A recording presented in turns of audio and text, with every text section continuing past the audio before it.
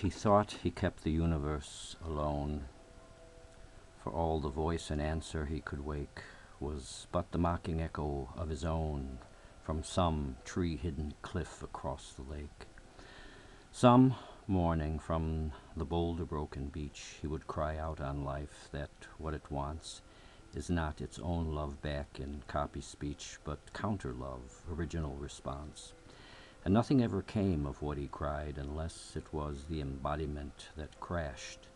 in the cliff's talus on the other side. And then in the far distant, water splashed